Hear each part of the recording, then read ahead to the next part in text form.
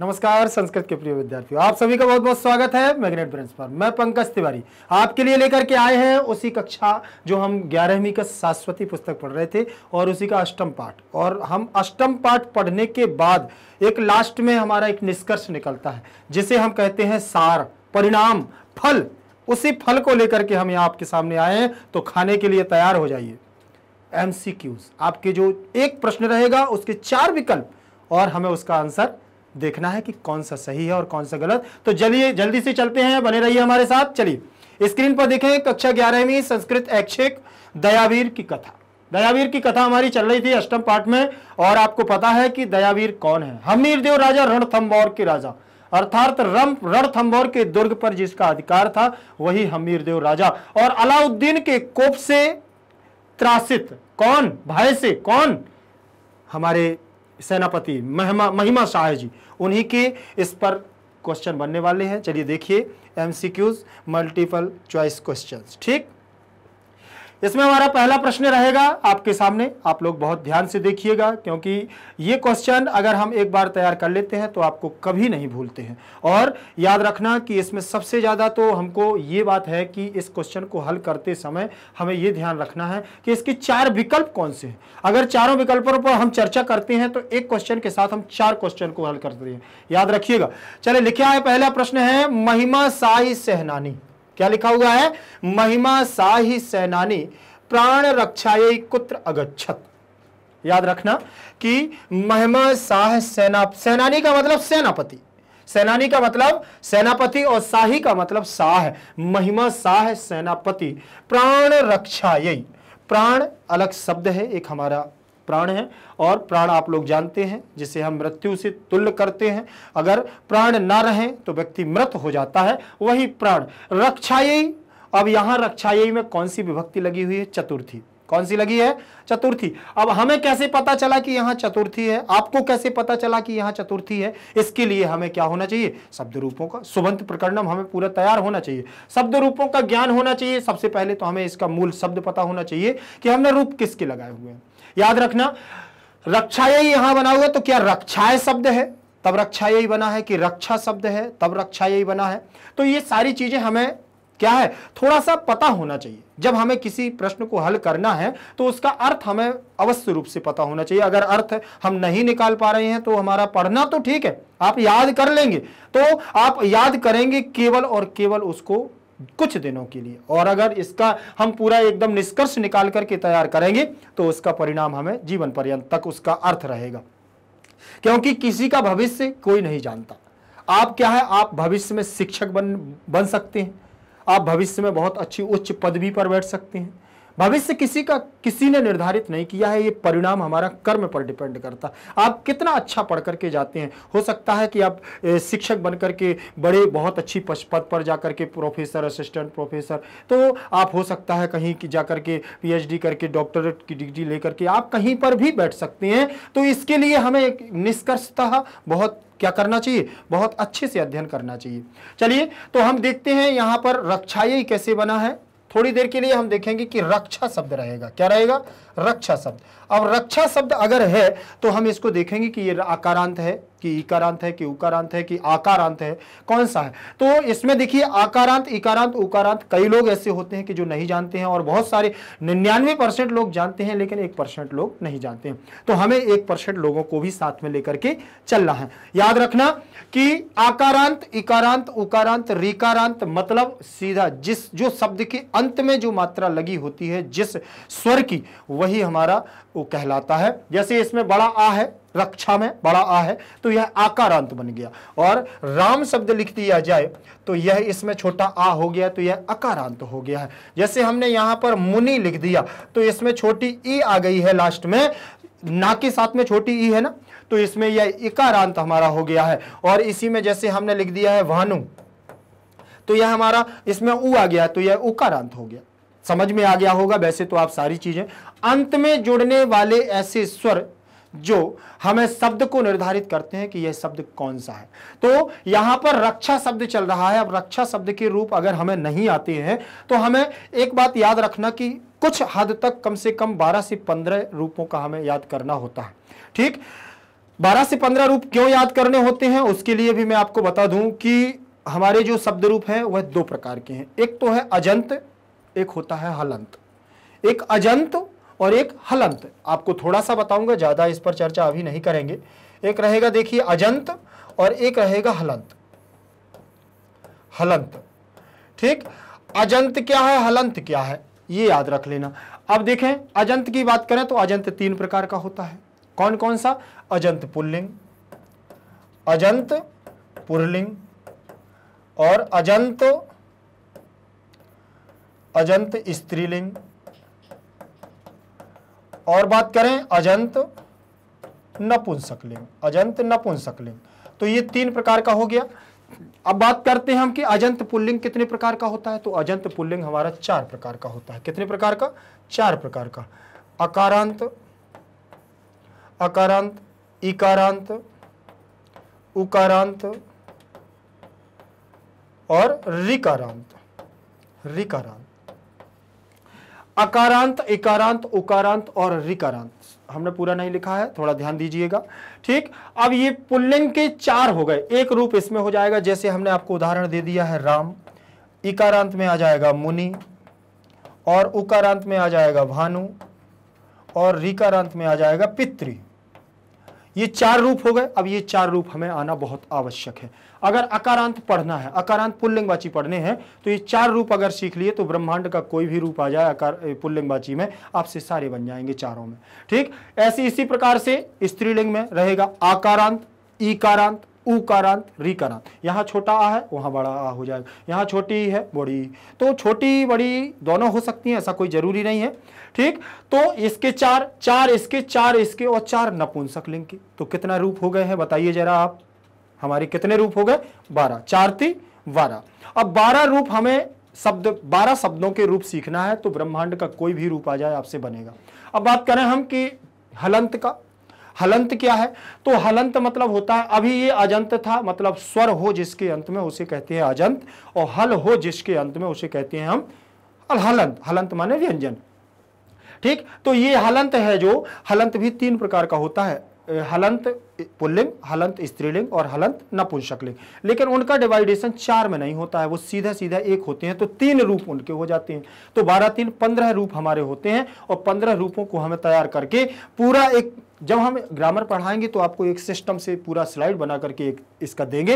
लेकिन उससे पहले आपको ये थोड़ा सा आपको याद रखना है कि किसी भी शब्द का हमें अर्थ जानने के लिए विशेष रूप से ये पंद्रह रूपों को तो सीखना बहुत आवश्यक है। अगर ये पंद्रह रूप हम नहीं सीख पा रहे हैं तो हमारे अंदर कमी है। याद रख लेना कि कोई ब्रह्मांड का आपको शिक्षक पढ़ा नहीं पाएगा।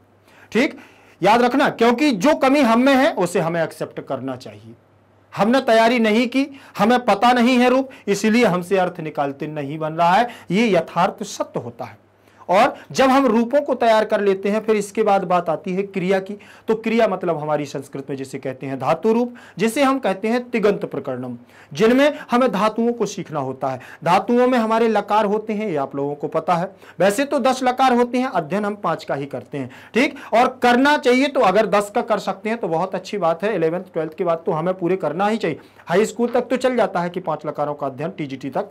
करना चाहिए। लेकिन इलेवेंथ, ट्वेल्थ के बाद ग्रेजुएशन हम पीजी करते हैं संस्कृत से तो हमें दसों लकारों का अध्ययन कर लेना चाहिए। ठीक?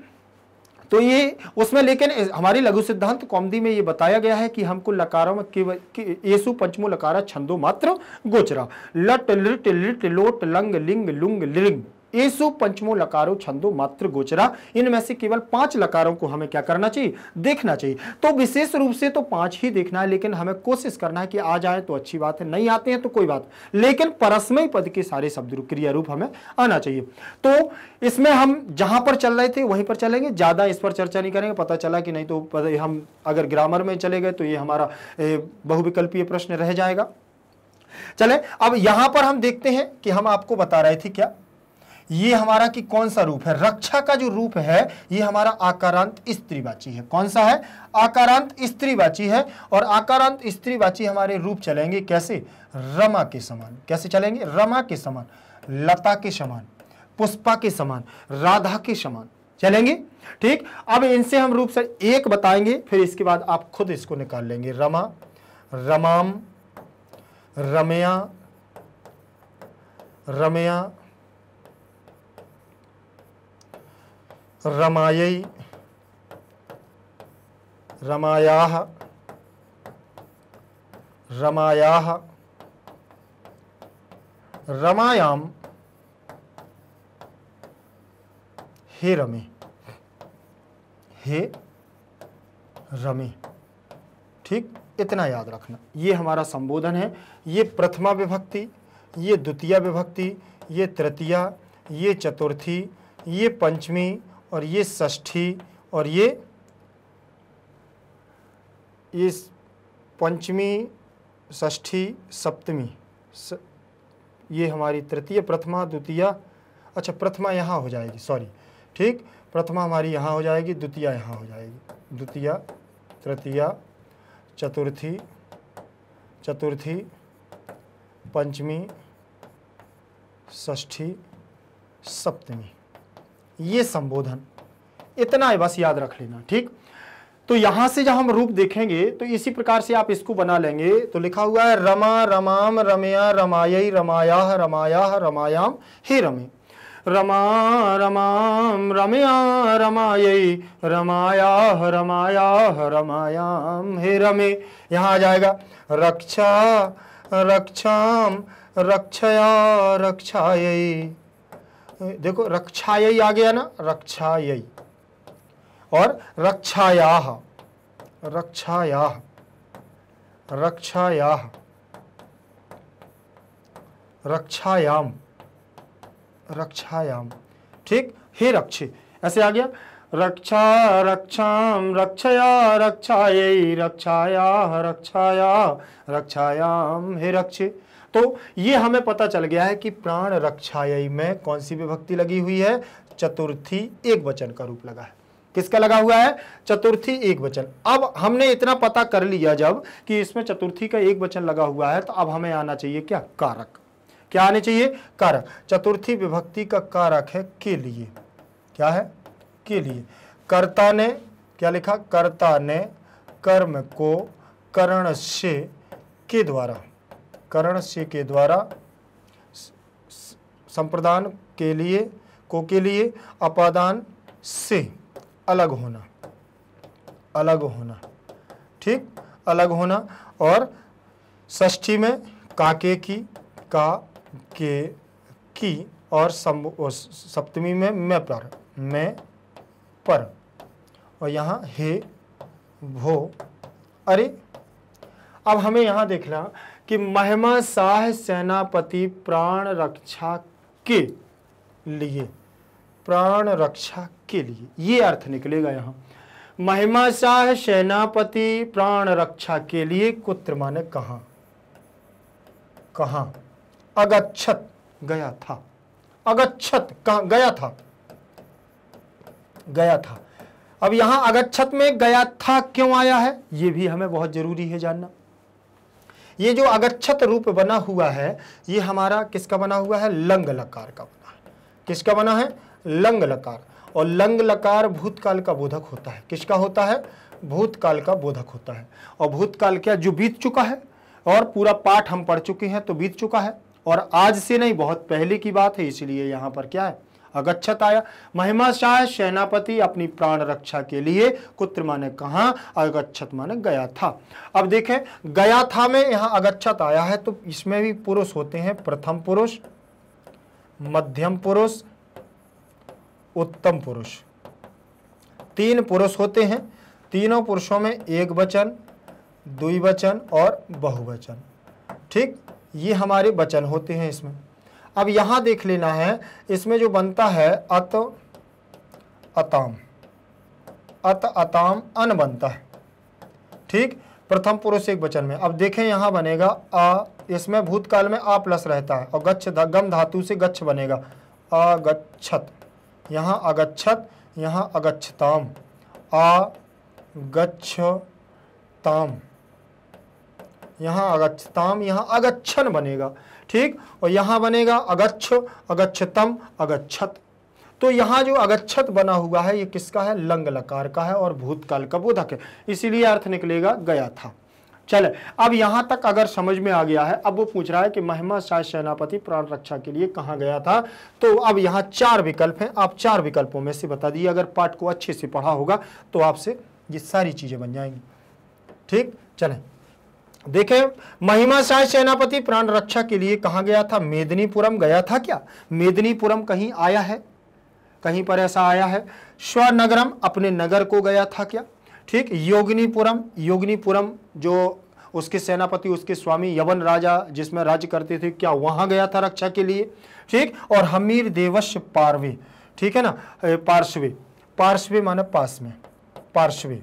हमीर देव के पास गया था, कहाँ गया था? तो आपको बताने के, आप, हमें बताने की ज़रूरत नहीं है, आप स्वयं बता देंगे कि कहाँ किसके पास गया था। सेनापति प्राण रक्षा के लिए हमीर देव के पास गया था। किसके पास गया? हमीर देव के पास। चलिए, ये देखिए, कौन सा प्रश्न हमारा सही हुआ? हमीर देव। अब क्यों आया है हमीर देवस्य पार्श्वे? हमीर देवस्य पार्श्वे इसलिए आया क्योंकि षष्ठी लगी तो हमीर देव के पार्श्वे माना पार्श्व में। और सप्तमी का एक वचन लगा है, इसलिए पार्श्वी पास में। हमीर देव के पास में गया। ठीक है ना? पहला प्रश्न समझ में आया। इतनी चर्चा पहले प्रश्न पर हमने इसलिए की है कि आपको प्रश्न का जब अर्थ निकालना है तो इसी प्रकार से निकालना है। हमें अगर अर्थ नहीं बनेगा, आप केवल इसको देखेंगे कि चार विकल्प देखेंगे तो चार विकल्प से क्या है? हमारा कुछ नहीं होने वाला। चार विकल्पों से हम अगर लगा भी देंगे कि हमारा सही भी निकल आता है तो केवल और केवल कुछ दिनों के लिए आपके पास वो आंसर रहेगा, फिर आपको क्या है? विस्मरणम जाता, भूल जाएगा। ठीक? इसीलिए कोशिश करना है कि वो हमारे लिए, हमेशा के लिए तैयार रहे। अब यहाँ देखेंगे, एक बात और याद रखना कि इससे जो हमारा प्रश्न बना है तो मेदिनीपुर तो हमारे इसमें कहीं विकल्प में पूरे पाठ में नहीं आया तो इससे हमारा कोई संबंध नहीं। स्वनगरम अपने नगर के लिए, स्वनगर के लिए एक शब्द आया है हमारे पूरे पाठ में, निज नगर गमनार्थ जब वह लड़खड़ाने रखता है, उसकी पूरी सेना मर जाती है, किसकी? यवन राजा की। तो वह निज नगर के लिए जाने के लिए तैयार होता है, अपने अपने उसके योगनीपुर जाने के लिए तैयार होता है। तो यहाँ स्वनगर इसका क्या बन जाएगा? पर्यायवाची शब्द बन जाएगा। तो ये थोड़ा सा याद रखना तो ये हमारे लिए प्रश्न, एक क्या हो जाएगा? एक प्रश्न जैसा बन जाएगा। पूछेगा कि स्वनगर के स्थान पर इस पाठ में कौन से शब्द का प्रयोग किया गया? तो निज नगरम। योगनीपुर क्या थे? यवन राजा अलाउद्दीन। अलाउद्दीन यहाँ का राजा था यवन राज था और ये किसके तर, किनारे पर है? कालिंदी तीरी। कालिंदी नदी के तट पर है।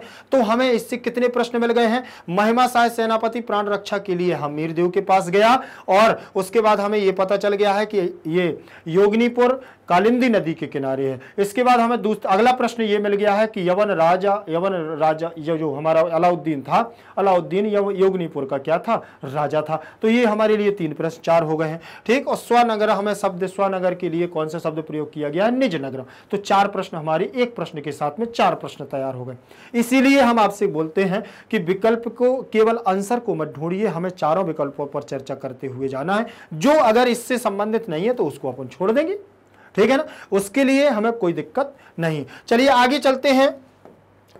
आगे बहुत जरा ध्यान से देखिएगा। दूसरा प्रश्न हमारा रहेगा कि योगनीपुरम नाम नगरम कुत्र देखिए आ गया ना प्रश्न? वही प्रश्न आ गया। बिल्कुल, अगर आपने ध्यान से सुना होगा तो वो प्रश्न आपसे बिल्कुल अच्छे से बन जाएगा। योगनीपुरम नाम नगरे कुत्र अस्ति।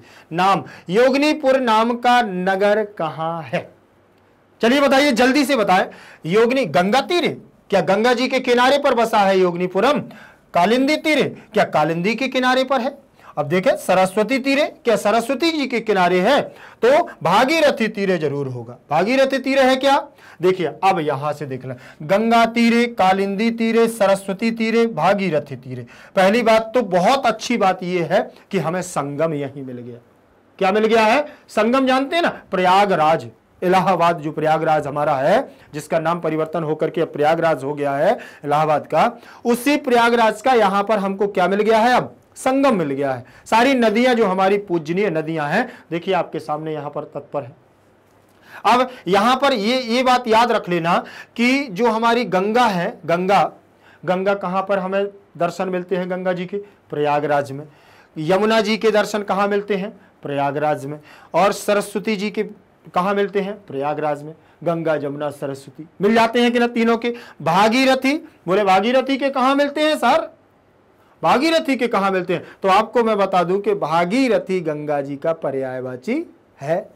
क्या है? भागीरथी पर्या, भागीरथी के पर्यायवाची त्रिपथ का लोक त्रिलोक वासिनी तीनों लोकों में जो वास करती है त्रिपथगा तीन पथों से गमन करने वाली है।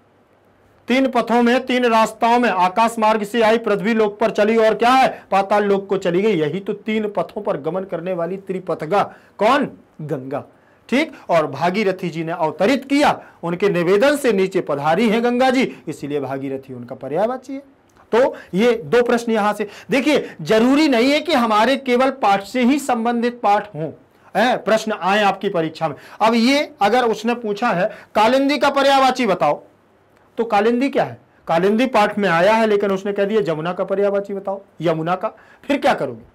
फिर क्या करोगे? उसने कह दिया, कालिंदी के तीरे योगनीपुरम नहीं है। उसने कह दिया, यमुना के किनारे कौन सा शहर बसा है? तो आपको वहाँ पर भी योगनीपुरम ही बताना पड़ेगा, क्योंकि कालिंदी किसका पर्यावाची है?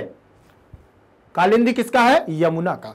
तो पर्यावाची रूप में भी वह आपसे पूछ सकता है। तो समझ में आया कि गंगा तीरे, गंगा जी के किनारे किनारे पर, है? और कालिंदी किनारे कालिंदी के किनारे पर, सरस्वती किनारे, अर्थ इनका बता रहा हूँ, भागीरथी। अब यहाँ तीरे शब्द आया है तो पर क्यों लग रहा है? सप्तमी का एक वचन लगा है यह भी याद रखना है। ठीक? सब में तीरे में, सप्तमी, एक वचन। कालिंदी तीरे, इसमें सप्तमी का एक वचन। किस, जितने भी तीरे शब्द लगे हैं, सब में क्या है? सप्तमी का एक वचन। इसलिए गंगा किनारे पर, यमुना किनारे पर, भागीरथी किनारे पर, और क्या? सरस्वती किनारे पर। तो समझ में आ गया है? संगम मिल गया और संगम मिल गया, बड़े भाग्य से संगम मिलता है, इलाहाबाद से मिले, चाहे यहाँ मिले, लेकिन तीनों का संगम मिल गया है। चलिए। अब देखेंगे, इनका आंसर देखते हैं हम। कालिंदी तीरे। योगनीपुरम कहाँ है? यमुना के किनारे। और जिस पर यवन राजा हमारा अलाउद्दीन क्या कर रहा था? राज्य कर रहा था। हमारे पाठ में ये आया हुआ है, ये कालिंदी तीरे। ठीक है ना? सबसे पहले कालिंदी तीरे। यमुन योगनीपुरम नाम अस्थि वहाँ पर क्या है? यवन राज अलाउद्दीन राज करता था। और किसी दिन क्या है? किसी कारण से, प्रयोजन के कारण वो क्रोधित हो जाता है सेनापति पर। चलें, आगे देखेंगे, बहुत अच्छा प्रश्न था। अब यहाँ देख लेना है, योगनीपुरम में द्वितीय व्यक्ति। योगनीपुरम नाम का नगर नगर कुत्र माने कहा? यहाँ कहा? अस्थि माने है। इतना बस याद रखना, इनके अर्थ याद ज़रूर रखना। ठीक? चले। और ये अगर यहाँ पर ये कुत्र लगा हुआ है कभी कभी ऐसा होता है कि इसमें सप्तमी भक्ति लगी है, इसमें कुत्र लगा है, ऐसा कैसे हो गया? तो आपको मैं बता दूँ, स्थानवाची नाम आता है तो प्रश्नवाचक चिन्ह में कुत्र लगा सकते हैं। क्या लगा सकते हैं? कुत्र लगा सकते हैं। वैसे कस्मिन कस्मिन भी आ जाएगा यहाँ पर, योगनीपुरम नाम नगरम कस्मिन अस्थि ठीक है ना? और सीधा सीधा लिखे कुत्रास्ति तो ऐसे भी चल जाएगा। ठीक? तो कुत्र का प्रयोग ज़्यादा होता है स्थानवाची में तो याद रखना। चले, आगे देखेंगे अगला प्रश्न। सामर्श क्या लिखा हुआ है? सामर्शो अस्य संधि विच्छेद अस्ति। अस्य संधि विच्छेद अस्ति। सामर्श्य इसमें संधि विच्छेद है। इसमें संधि साम धन शामर शाम धन रर्ष शा धन मर्ष शार्म धन शह शा धन अमर्ष। अब यहाँ पर देख लीजिए हमें सबसे पहले ये देखना है कि ये पूरा पद बना हुआ है कभी कभी पूरा पद बना होता है, हमें तोड़ने में क्या है, समस्या जाती है। हम उसको तोड़ नहीं पाते हैं कि इसको तोड़ेंगे कैसे, इसको हम अलग से कैसे करेंगे। तो आपको मैं बता दूँ, पहले तो हमें ये देखना है कि कहाँ पर मिलकर के कौन सा विकार हुआ है। सारी संधियों का हमें नियम बस आना चाहिए। नियम अगर हमें संधियों का आता है तो हम बहुत अच्छे से उसको कर पाते हैं। चलिए देखते हैं। इसका हमारा संधि विच्छेद ये होगा। ये साधारण हमने आपको अर्थ बता दिया है। जरा देख लीजिए, ये है, देखें। ये इसका अर्थ वो हो गया है, इसका आंसर हो गया। लेकिन ये क्यों आंसर ऐसा हुआ है, ये हमें देखना ज़रूरी है। इसमें हम सबसे पहले तो हमें पता लगाना है कि इसमें हमारी कौन सी संधि है? दीर्घ संधि है। और जब दीर्घ संधि है तो हमें दीर्घ संधि के आधार पर इसका क्या है? इसको तोड़ना है। और दीर्घ संधि के आधार पर जब हम इसका विच्छेद करेंगे तो साधन अमर्श होगा। क्या होगा? साधन अमर्श साधन अमर्शाह हमने इसको तोड़ दिया। अब दीर्घ संधि का सूत्र हम इसमें लगा रहे हैं तो दीर्घ संधि का सूत्र हमें पता होना चाहिए कि कौन सा सूत्र है। अकह शवर्णे अकह शवर्णे दीर्घ।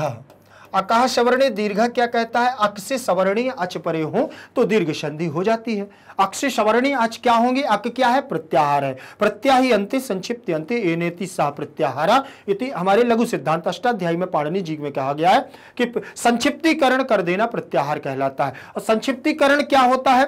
तो ये प्रत्याहार क्या है? ये महेश्वर चौदह सूत्रों से बना हुआ हमारे प्रत्याहार होते हैं, ये बयालीस प्रत्याहार होते हैं। कितने होते हैं? द्वि चतवारिशत अर्थात बयालीस प्रत्याहार होते हैं और अष्टाध्यायी के आधार पर इसको और सिद्धांत कौमदी के आधार पर इसमें हमारे चवालीस प्रत्याहार भी माने जाते हैं। ठीक? रम प्रत्याहार और रल प्रत्याहार को हम लोग क्या मान लेते हैं? नई प्रत्याहार और रम प्रत्याहार को मान करके हम चवालीस प्रत्याहारों को मान लेते हैं। तो कुछ प्रत्याहार एक दो हैं जिन्हें वेद में वेद में प्रयोग किया जाता है। तो प्रत्याहार हमारे महेश्वर सूत्रों से बनते हैं। अयोड रिलरिक एयोंग लण इमंग गणनम झवई गढ़दस जब गढ़दस खप चढ़ चढ़ता कपय सक्सर हल। ये हमारे प्रत्याहार है।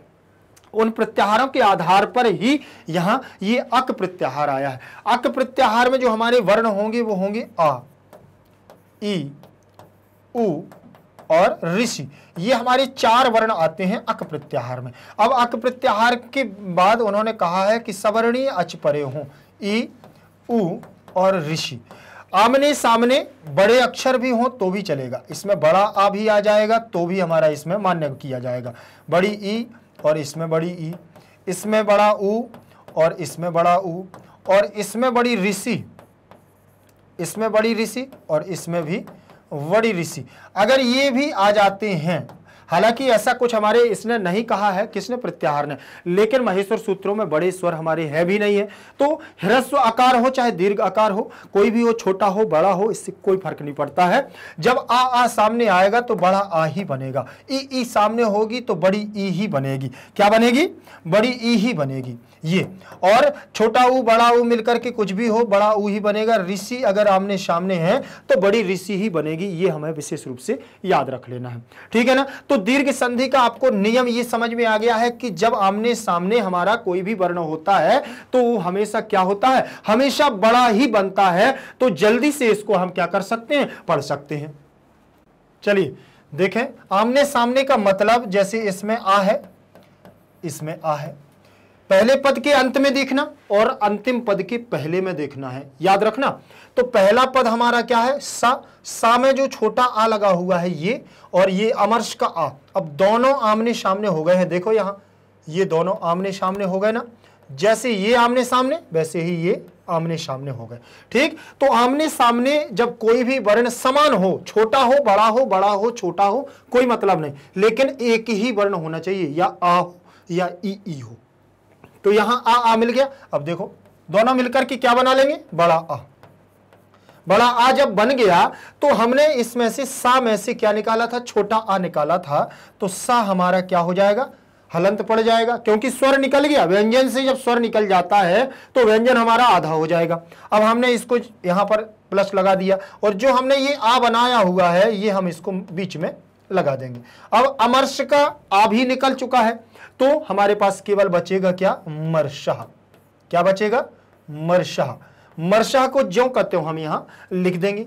अब इसमें याद रखना कि आ हमारा जब इसी में सा में जुड़ेगा तो ये हमारा बड़ा सा बन जाएगा। क्या बन जाएगा? बड़ा शाह और मर्श दूसरे पद को ज्यो कहते हैं, उठा करके हमें इसमें जोड़ देना है। और हमारा शब्द क्या बनेगा? शाह मरशाह। देखिए, ये बना हुआ है। इसमें विसर्ग नहीं लगा तो इसमें भी विसर्ग लगा लीजिए। अमर शाह शामर शाह बन गया है कि पद की नहीं बना? तो इससे यह स्पष्ट हो गया है कि सामर्षा में कौन सी संधि है? दीर्घ संधि। कौन सी संधि है? दीर्घ संधि है, और दीर्घ संधि के आधार पर अकह सवर्ण सूत्र हमारा लगेगा। अब ई के भी हमको बहुत सारे मिल जाएँगे। सामर्श की जगह हमने यहाँ पर आपको एक शब्द दे दिया है, नदीशा। आप पूछेंगे कि नदीसा में कौन सी संधि है तो भी दीर्घ संधि है। अब यहाँ पर लिखा हुआ है बड़ा ऊ तो बड़े ऊ के लिए भी हम यहाँ पर आपको एक शब्द दे रहे हैं, कौन सा? वधुत्सव। वधुत्सव। इसमें भी वधुधन उत्सव, वधुत्सव नदी धन ईसा नदीशाह तो ये हमारा वधुत्सव बन गया। तो ये दीर्घ संधि। अब ऋषि की बात करें तो यहाँ पर पितृणम शब्द आएगा। कौन सा? पितृणम। पितृ, पितृधन ऋणम। पितृणम। बन जाएगा पितृधन ऋणम। और पितृण ये हमारा दीर्घ, ये हमारा दीर्घ, ये हमारा दीर्घ, और सामरसह तो हमारा दीर्घ है ही। तो यहाँ पर हमने देखा कि दीर्घ संधि सामरसा में उसने पूछा कि अस्य संधि विच्छेदा अस्ति, इसका संधि विच्छेद है तो इसके संधि विच्छेद कौन सा हो जाएगा? ये हमारा विच्छेद हो जाएगा। और इसमें संधि कौन सी है? दीर्घ संधि। ठीक, चलिए, अब आगे चलते हैं हम, अगला प्रश्न हमारा जो होगा अगला प्रश्न देखें। चौथा नंबर का प्रश्न है, गतस्य धन एव। गतस्य धन एव अत्र संधि युक्त पदम अस्ति। देखें, गतस्य धन एव अत्र माने यहाँ संधि युक्त मतलब दोनों को मिला देने पर बनने वाला जो पद होगा, वह पद कौन सा है? उस पद की बात कर रहे हैं कि गतस और एव शब्द से जो दोनों को मिला देने पर जो पद बनना है, वो कौन सा? तो गतस्यव ये वाला बनेगा गतस्व ये वाला बनेगा। गतस्याव ये बनेगा और गतस्य एव गतस्य एव ये वाला बनेगा। अब हमें ये देखना है कि हमारा केवल ये वाला बनेगा कि नहीं, ये इसमें सीधी मात्रा इसकी लग जाएगी कि यहाँ कोई संधि होगी। तो ये हमें सबसे पहले देखना है। चलिए, हम आपको बता दें कि इसका हमारा शब्द बनेगा गतस्यव। ये हमारा इसका आंसर सही होगा, लेकिन ये आंसर क्यों सही होगा, वो भी हम आपको बता रहे देख लीजिए ये गतस्यव, इसमें सीधा सीधा जुड़ गया, ठीक? लेकिन यहाँ होगी वृद्धि संधि, ठीक? ये इसका आंसर आप साधारण तौर से देखें तो इसमें एक ही मात्रा ज़रूर लग जाएगी, लेकिन इसमें वृद्धि संधि होगी। ये इसमें आंसर नहीं है इसका इसका आंसर होगा हमारा ये वाला ये याद रखिएगा, ठीक? तो ये इसका मुद्रण दोष कहलाएगा। चलिए, ये वाला आंसर आप लोग याद रखिएगा गतसैव बनेगा, वो कैसे बनेगा? ये बनेगा, देखिए, कौन सी संधि? वृद्धि संधि। वृद्धि संधि रहेगी, वृद्धि संधि। ठीक? अब इसमें वृद्धि संधि जैसे ही होगी तो गतस्य, क्या बना? गतस्य लिखा है ना? गतस्य धन एव। ये लिखा हुआ है। वृद्धि संधि का सूत्र क्या है? वो भी देख लेंगे। वृद्धि रादैच वृद्धि रादैच कौन सा सूत्र? वृद्धि रादैच वृद्धि रादैच सूत्र क्या कहता है? कि पहले पद में छोटा आ और बड़ा आ, दो में से कोई भी हो, उसके बाद ए या आई, आए तो क्या बनता है? आई बनता है। छोटा आ और बड़ा आ के बाद अगर ओ या औ आए तो क्या बनता है हमारा? औ बनता है। क्या बनता है? औ बनता है। छोटा आ और बड़ा आ के बाद अगर ऋषि, छोटी ऋषि या बड़ी ऋषि आए तो आर बनता है। क्या बनता है? आर बनता है। ये नियम है। अब इस नियम के तहत हम उसको देख लेते हैं। अगर ये हमारा नियम इसमें बैठ जाता है सिस्टम से लग जाता है तो हमारा इसमें वृद्धि संधि होगी। नहीं तो फिर क्या? गुण संधि मानेंगे। ठीक? लेकिन अगर नियम लगता है तो फिर कोई चांस नहीं है, वृद्धि संधि ही होगी। ठीक? अगर नियम देख लेते हैं। उसने कहा कि पहले पद में छोटा या बड़ा आ होना चाहिए। तो हमने पहला पद देखा और पहले पद के अंत में इसमें छोटा आ हमको मिल गया। अब उसके बाद कहता है कि छोटा आ या बड़ा आ के बाद ए या आई मिलना चाहिए। तो हमने देखा तो इसमें क्या मिल गया है? हमें ए मिल गया है। और ये यहाँ तक तो नियम हो गया हमारा। ये नियम तो इसने पूरा कर दिया। अब ये नियम अगर हो गया है तो आ के बाद ए आने पर क्या बन जाएगा हमारा? आई हो जाएगा और आई की मात्राएँ कितनी होती हैं? दो लगाते हैं हम, जब भी लगाते हैं तो आई की मात्रा कितनी लगती है? दो लगती है। अब हम यहाँ से देखेंगे, अभी हमने पूर्वत इसमें बताया है, जो इसके पहले दीर्घ संधि पढ़ रहे थे तो जब इसका स्वर किसी व्यंजन से निकाल लिया जाता है तो व्यंजन हो जाता है आधा। तो हमने देखिए, गतस्य में से, गतस्य के या में से स्वर आ निकाल लिया है तो ये आधा हो गया। हलंत लग गया। अब यहाँ पर हमने आई, जो दोनों वर्णों को मिलाकर के आई को बनाया था, वो हमने मध्य में लिख दिया। एव निकल गया था तो यहाँ हमारा केवल हुआ बचेगा। क्या बचेगा? हुआ बचेगा। इतनी बात अगर समझ में आपको आ गई है अच्छे से तो ए की मात्रा आई की मात्रा हम इस पर लगाएँगे। किस पर लगाएँगे? इस पर।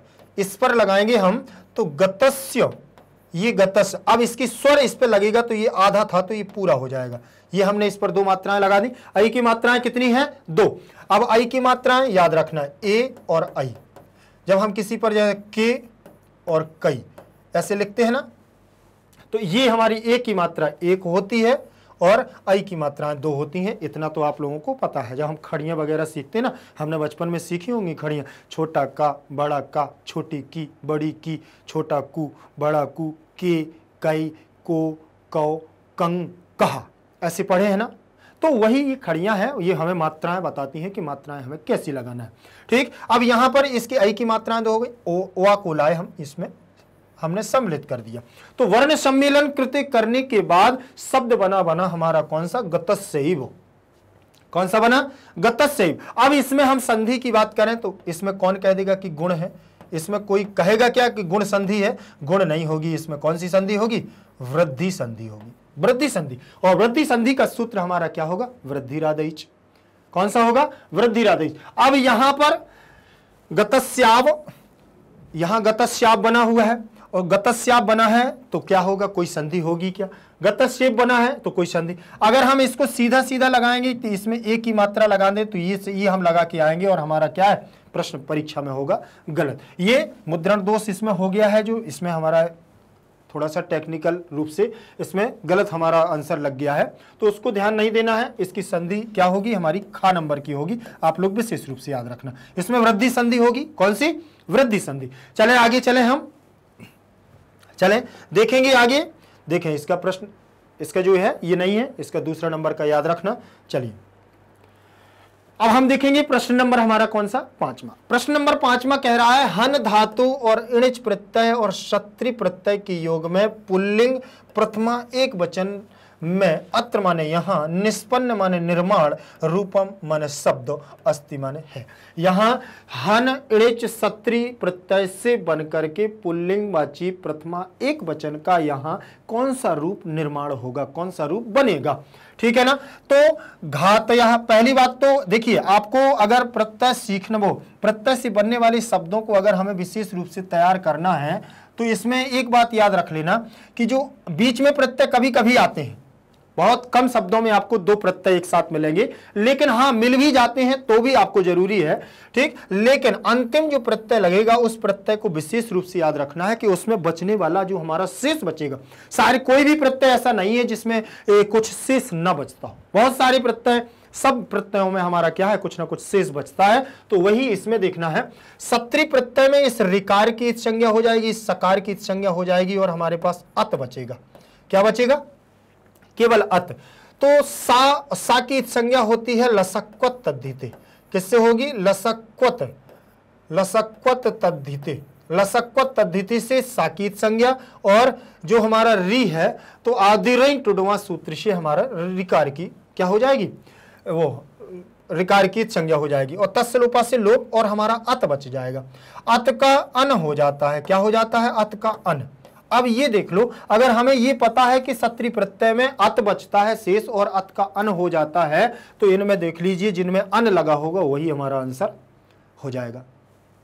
अब ठीक, अब ये तो हो गया है, ये साधारण तरीके से सीखना हमारा हो गया, या फिर अब हमें सिद्ध करना आना चाहिए रूप। ठीक है ना? सिद्ध करने का मतलब ये होता है कि हन धातु से कहीं पर भी यहाँ हा नहीं दिख रहा है, केवल हातम में दिख रहा है। अब यह हन से घा कैसे बन गया है? हन से घा कैसे बन गया है, ये हमें पता होना चाहिए। हन माने होता है मारना और घातयन माने भी होता है मारना। तो यहाँ परिवर्तन हा का घा में हो गया है। किसमें हो गया है? घा में हो गया है घा घड़ी में। ठीक? तो ये भी हमें याद होना चाहिए कि कहाँ परिवर्तन होता है। जैसे तत् धन हित, तद्धित बनता है। धा हो जाता है परिवर्तन हा का तो यहाँ घा हो गया है। तो ये घातयन बन गया है। साधारण तरीके से देखिए, हन धातु मारने के अर्थ में होती है, हातम कोई स्वरूप नहीं बनता है, ठीक? घातय बनता है, घात, ध्यातम नहीं बनता है, ठीक? घातय घात बनता है, ठीक? लेकिन घातियन बना है अन के आधार पर, ठीक? तो समझ में आया? तो इतनी, इस सारी चीज़ें अगर हम इस प्रकार से थोड़ा सा देखते जाएँगे तो प्रत्यय के आधार पर हमें प्रश्न सही मिल जाएगा, ठीक है ना? चलिए, हमारा कौन सा प्रश्न आंसर सही होगा? घातयन। जो साधारण तौर से जो हमें प्रत्यय के अंत में मिलेगा, वही हमारा शब्द बनाएगा। अब हालाँकि कभी कभी रूप भी चल जाते हैं। रूप चलने का मतलब ये होता है कि कहीं पर ऐसे जैसे पुल्लिंग में करणीय बन गया है, स्त्रीलिंग में करणीय और नपुंसकलिंग में करणीयम, इस प्रकार बन जाता है, लेकिन प्रत्यय तीनों में एक ही होता है। तो ये भी हमें थोड़ा ध्यान रखना है। अगला प्रश्न रहेगा, पराधन मृष धन ल्यप प्रत्यय। पराधन मृष धन, मृष धातु ल्यप प्रत्यय, अत्र निष्पन्न रूपम अस्ति ठीक? परा उपसर्ग लगा हुआ है, मृष धातु है, ल्यप प्रत्यय है, और अत्र माने यहाँ। ठीक? परापूर्वक मृष धातु और ल्यप प्रत्यय के योग से निष्पन्न माने निर्माण होने वाला रूपम अस्थि माने रूप है। कौन सा रूप ऐसा है जिसमें परा उपसर्ग लगा है मृष धातु है और लेप प्रत्यय? चलिए, अब हम देखते हैं परा उपसर्ग इसमें है, परा इसमें है, परा इसमें है, परा इसमें है। तो उपसर्ग तो सब में है। अब इसमें मृष है तो यहाँ मृषा लगा हुआ है। और अब हमें, हमने आपको अभी क्या बताया? कि हमें प्रत्यय का अंत पद देखना है कि प्रत्यय में शेष क्या बचता है। चलिए, हम आपको बताते हैं ल्यप प्रत्यय में लकार की संज्ञा और पकार की संज्ञा होकर के केवल या शेष बचता है। क्या बचता है? या शेष बचता है। या। और या जब शेष बचता है हमारे पास तो अब पहले तो हमें यह देखना है कि इसमें कौन कौन से में या है। तो या ये है और या ये है। मतलब दो हमारे क्या हो गए? फिफ्टी फिफ्टी की लाइफ लाइन हमारी खत्म हो गई। ठीक? अब अब फिफ्टी अब ये हमारे दो, चार में से कितने चले गए? दो चले गए। अब फिफ्टी फिफ्टी बचना है। तो अब कौन होगा? ये वाला होगा कि ये वाला होगा? तो ये भी हमें याद रखना है। चलिए, अब हम ये देखते हैं कि इसमें हमारा जो प्रत्यय या हमारा शेष बचा हुआ है, ठीक? चलें। यह हमारा शेष बचा है और मृष धातु में यहाँ हलंत लगा हुआ है। देखें, ये हलंत लगा है कि नहीं? ये लगा है हलंत। हलंत का मतलब सा हमारे धातु में क्या है? कोई स्वरांत धातु नहीं है, ये व्यंजनांत धातु है। ठीक? अब हमने देखा कि परा उपसर्ग है, मृष धातु है और यह प्रत्यय जुड़ने पर इसमें आधा सा आ रहा है। इसमें पूरा सा आ रहा है और पूरा सा यहाँ अगर कोई पीछे स्वर होता तो इसको पूरा कर देता, लेकिन इसमें कोई पूरा स्वर नहीं है तो ये क्या है? हमारा आधा ही रहेगा। तो इसका देख ले। ये आंसर हमारा, आंसर तो ये हो गया। आंसर तो हमारा ये हो गया। ये तीन हमारे गलत हो गए। ये हमको मिल गया। ठीक? लेकिन सबसे बड़ी बात ये है कि अब हम इसको, जब हमने इसको बनाया है तो क्या देखा? सबसे पहले ये देख लेना है। इसमें हालाँकि कोई ज़्यादा बड़ी बात नहीं है। इसमें जो था, हमने आपको बता दिया कि यह हमारा शेष बचेगा और पराधन मृष सीधा सीधा जुड़ गया है। परामृष। क्या बन गया है? परामृश और परामृश से ही बनता है परामर्श। परामर्श से ही क्या बनता है? परामर्श। परामर्श का मतलब विचार करना। परामर्श का मतलब विचार करना हमें एक, एक सलाह लेना विचार करना। किसी चीज़ को करने से पहले हमें क्या करना है? उस पर मंथन करना चिंतन करना वही तो परामर्श है। विचार है, ठीक है ना? कभी कभी हम ऐसा करते हैं, दूसरे से परामर्श ले कभी कभी अपने आप से परामर्श करते हैं, विचार करते हैं, चिंतन करते हैं बैठ करके कि ऐसा उचित रहेगा कि नहीं रहेगा तो वही हमारा परामर्श कहलाता है। चलिए, आगे देखेंगे, अगला प्रश्न हमारा जो होगा, अगला प्रश्न देखेंगे, साकम इति उपपद योगी कह विभक्ति। शाकम इति उपपद उपपद पद योगे कह विभक्ति। अब देखें, साकम जो शब्द है इस पद उपपद में ये उपपद योग में योगे योगे में सप्तमी लगी ये उपपद योग में कहा माने कौन? विभक्ति माने विभक्ति है। साकम के योग में साकम के योग में कौन सी विभक्ति है? ये पूछ रहा है वो। अब हमें ये पता नहीं कि यो, ये क्या है हमारा? योगी का है? योगी कौन सा क्या होता है? तो ये सारी चीज़ें जानने के लिए थोड़ा सा अध्ययन की ज़रूरत है थोड़ी सी मेहनत की ज़रूरत तो है ही। लेकिन एक सूत्र हमारे व्याकरण में आया है, सहसाकम समम सार्धम तृतीय। सहसाकम समम सार्धम तृतीय। अब इसका मतलब क्या होता है? साथ के योग में। साथ के योग में किसी के साथ चलने के योग में, किसी के साथ रोने के योग में, किसी के साथ खाने के योग में। साथ का मतलब ही साथ साथ में, ठीक? सा सा लगा हुआ है तो भी सा का मतलब साथ होता है। सा परिवार का मतलब होता है साथ में रहने वाले। ठीक है ना? तो और संपन्न का मतलब भी होता है, हर प्रकार से संपन्नता उनके साथ में हो, ठीक? और जैसे सह, हमने कह दिया रामायण सह, सीता बनम गच्छति। रामायण सह सीता, राम के साथ सीता बन को जाती है। ठीक है ना? तो याद रखना तो उसी प्रकार से अब यहाँ देखना कि तृतीय चतुर्थी में तो होगा नहीं, प्रथमा में होगा नहीं, पंचमी में होगा नहीं, तृतीय विभक्ति इसमें दी हुई है। अब सहसाकम समम सारधम तृतीय तो एक सूत्र है हमारा सह शाकम सह साकम समम शारधम तृतीय। सह साकम समम सारधम तृतीय। ये हमारा सूत्र है और सह के योग में हमेशा तृतीय विभक्ति लगती है। ठीक है ना? तो याद रखेंगे, यहाँ जैसे हमने कह दिया है कि रामम, राम, सीता, जैसे बने सीतया समम, राम बनम गच्छति। सीता के साथ राम बन जाते हैं। ये कुछ भी कह सकते हैं, किसी के साथ बन जाते हैं, ज़रूरी नहीं है, बन नहीं जाते हैं। तो हमने कह दिया है पुत्रेण सह पिता, पुत्रेण सह पिता भोपाल नगरम या अयोध्या नगरम या छत्तीसगढ़ नगरम। किसी भी नगर की बात करें तो वो भी चल जाएगा। तो सात के योग में क्या बनेगा हमारा? तृतीय। सह साकम संसारदम तृतीय। तृतीय विभक्ति का योग वहाँ बनता है साकम। तो साकम उपपद के योग में कौन सी विभक्ति हमारी लगेगी? तृतीय विभक्ति। चलिए तो देख लेते हैं ये ये देखें, तृतीय विभक्ति कौन सी हो गई हमारी? तृतीय विभक्ति हो गई है। चले, आगे देखेंगे, अगला हमारा प्रश्न होगा। सहसाकम समम सारदम तृतीय समझ में आ गया है। कभी भी सात के योग में कोई भी हमारा आ जाए, सात का योग हो तो समझ लेना कि वहाँ क्या है, तृतीय विभक्ति होती है। और दान का योग आ जाए, दादानी चतुर्थी, आपको यही बता दूँ, दादाने चतुर्थी, हमेशा। दान के योग में अगर बात आती है तो वहाँ चतुर्थी विभक्ति हो जाती है, देने के अर्थ में। कोई भी हो, देने की बात की जाए, वहाँ चतुर्थी विभक्ति होती है। दादाने चतुर्थी। ठीक? अब जैसे प्रथमा की बात करें तो बोले, प्रथमा सर जी, प्रथमा कहाँ होती है सर? तो प्रथमा के लिए बताएँ, एक सूत्र आता है, प्रातिपदिकार्थ लिंग परिमाण वचन वचन मात्रे प्रथमा। हमेशा लिंग में, लिंगवाची का मतलब पुल्लिंग, स्त्रीलिंग नपुंसक लिंग कोई भी शब्द हो, लिंगवाची हो। ठीक? तो लिंग, परिमाण। परिमाण का मतलब होता है मात्रा, तोलना। माप तौल आदि, ये परिमाण कहलाते हैं, लीटर आदि में तोलना। ठीक है ना? लिक्विड चीज़ें जो हम तोलते हैं, वो हमारा परिमाण परिमाण। लिंग परिमाण वचन। वचन का मतलब एक वचन द्विवचन बहुवचन। ये वचन होते हैं। ठीक? लिंग परिमाण वचन मात्र। मात्रा का मतलब एक, दो, तीन, चार, पाँच। ये मात्राएँ हैं। ठीक है ना? एक मात्रा, दो मात्रा, तीन मात्रा, ये। ठीक? और किलो के भाव में भी कह सकते हैं हम, ये भी हमारी मात्रा है इकाई है। देखना, बोले, कितनी मात्रा में मात्रा में आपको चीनी चाहिए, कितनी मात्रा में आपको सुगर वो चाहिए, क्या बोलते हैं एक रस चाहिए, कितनी मात्रा में आपको साकम चाहिए। तो मात्रा का मतलब भी इकाई ही है तो वो भी याद रखना। एक, दो, तीन, चार, पाँच, ये भी हमारी इकाई ही है।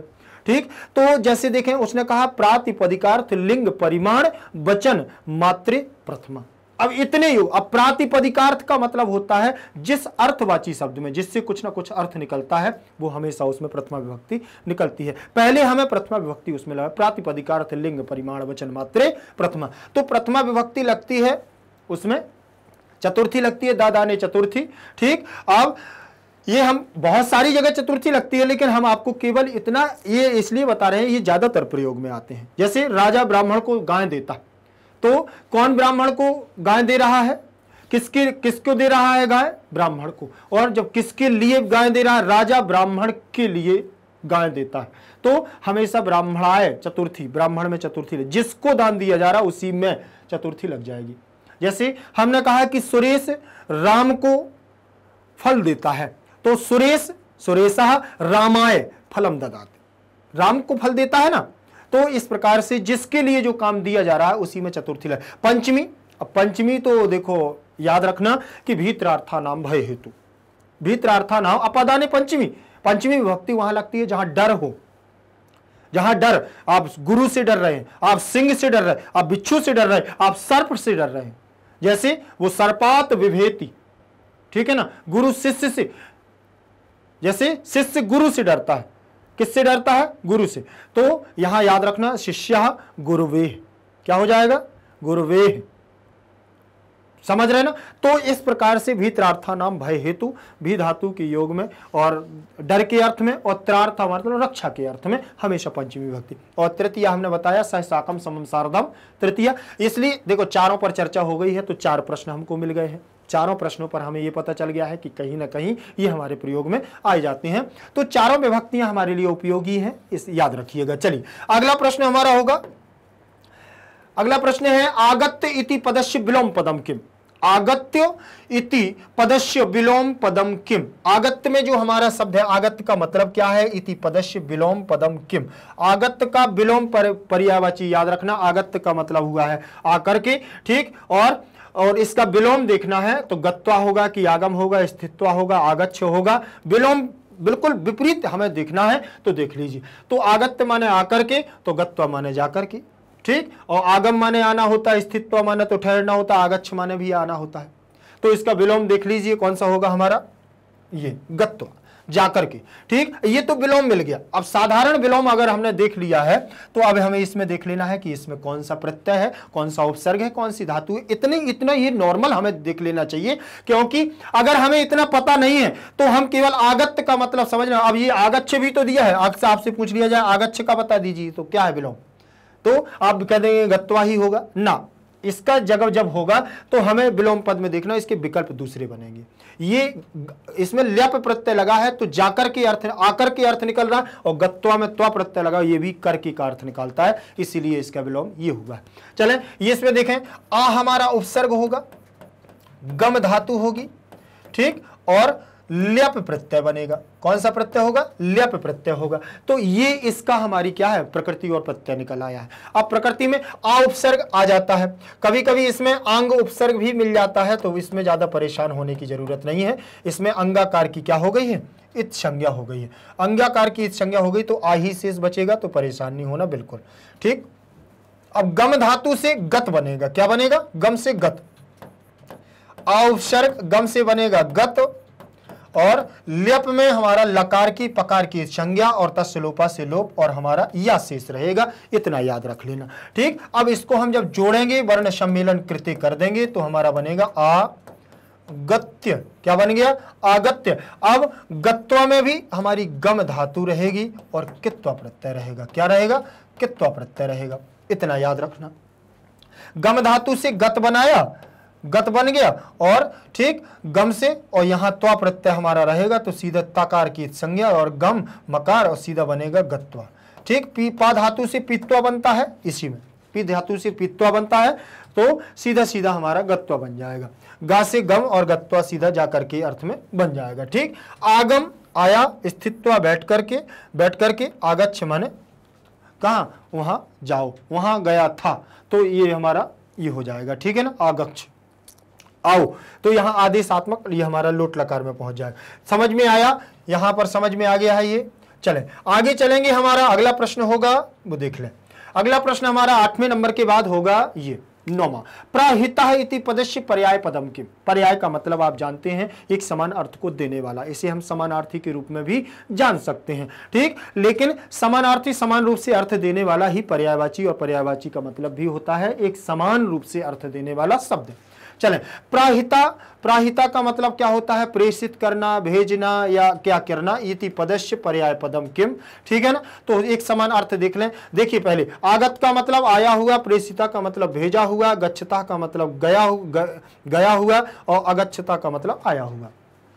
ठीक? तो किसी के द्वारा पूरे पाठ में प्रहिता शब्द आया है किसी के द्वारा कुछ प्रहित किया गया था। तो आप देख लीजिए तो समझ में आ जाए शायद इसका दूसरा आंसर है प्रेषिता। अगर आपने पूरा पाठ पढ़ा होगा, देखा होगा तो आपको ज़रूर समझ में आ गया होगा कि प्रेसिता क्या था? यवन राज के द्वारा उसका दूत भेजा गया था। कहा? हमीर देव के यहाँ कि आप मेरे शत्रु को छोड़ दीजिए, अन्यथा प्रातः काल की बेला में हम घुड़सवारों के द्वारा यहाँ आएँगे और उनके आघात से आपके दुर्ग को क्या कर देंगे? चूर्णावशेषम धूल में मिला देंगे और दोनों को यहाँ से ले जाएँगे यमलोक के लिए। अंतक पूर्वासी बना देंगे। अंतक पूर्ववासी का मतलब देवलोक, यमलोक।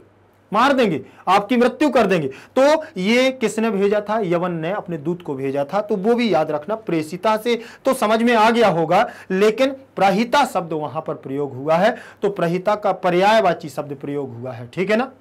याद रख लेना। चले, अगला प्रश्न हमारा होगा। पदस्य में षष्टी विभक्ति लगी हुई है, ये हमें याद रखना है। चले, दसवा हमारा प्रश्न होगा कलत्रम।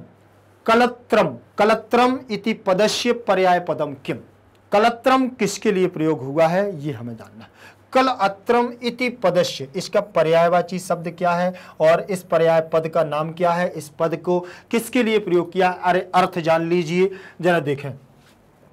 भार्याम इसका अर्थ जागने की तो इसका अर्थ है पत्नी। वंशम मतलब इसका अर्थ है कुल। कुलम, इसका मतलब भी है कुल। और सुंदरम माने होता है अच्छा। सुंदरम माने अच्छा। ठीक? या अच्छा या अच्छी। तो आप, अगर आपने पाठ को पढ़ा होगा तो आपको पता चलेगा कि किसके लिए यह प्रयोग किया गया है। आपको अगर पता हो कि सेनापति महिमा शाह ने राजा से कहा था कि आप मुझे क्या है? यवनों के हवाले कर दीजिए। मुझे किसके हवाले कर दो? यवनों के हवाला हवाले कर दीजिए। मुझ जैसे विदेशी के लिए। मैं एक यवन सेनापति, मुस्लिम सेनापति और विदेश से आकर के आप मेरे लिए क्या कर रहे हैं? सुपुत्र। सुपुत्र कलत्रम। सुपुत्र कलत्रम।